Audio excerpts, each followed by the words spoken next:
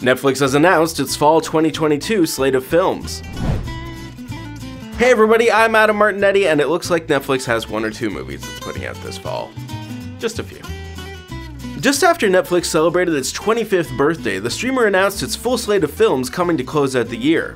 Headlined by the arrival of Rian Johnson's Knives Out follow up, Glass Onion, a Knives Out mystery, and the Millie Bobby Brown headed Enola Holmes 2. Glass Onion marks the return of Daniel Craig's Benoit Blanc as he tries to solve yet another murder mystery, and is due out December 23rd. Noah Baumbach's White Noise will also be making its way to Netflix, along with Descendant, The Swimmers, and Bardo, False Chronicle of a Handful of Truths.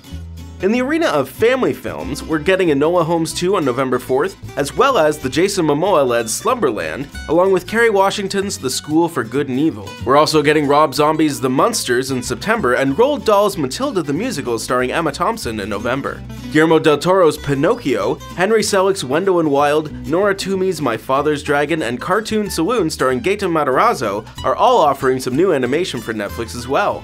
Netflix's fall slate kicks off Labor Day weekend with Fenced In and Love in the Villa, releasing on September 1st. I'm Adam Martinetti, and don't forget to head over to Collider.com for your movie news, trailers, and reviews. Thanks for watching, and we'll catch you later.